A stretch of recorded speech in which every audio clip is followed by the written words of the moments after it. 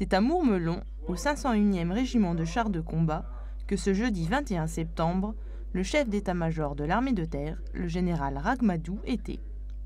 Première visite et premier contact avec les soldats de la 2e brigade blindée, brigade que le général connaît très bien.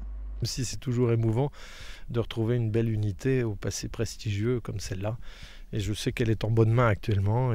Continuité de la préparation opérationnelle, entraîner et préparer les hommes aux futures projections, c'est le message que le chef d'état-major de l'armée de terre est venu délivrer au régiment.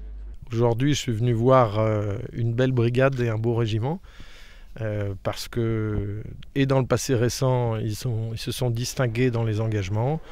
Euh, ils en préparent de nouveaux, et notamment un majeur en Afghanistan l'an prochain.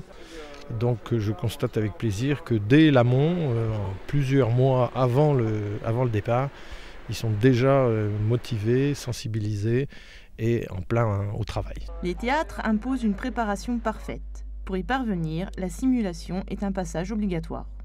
grâce à ces installations, nous pouvons former nos, tireurs sur euh, le plan technique.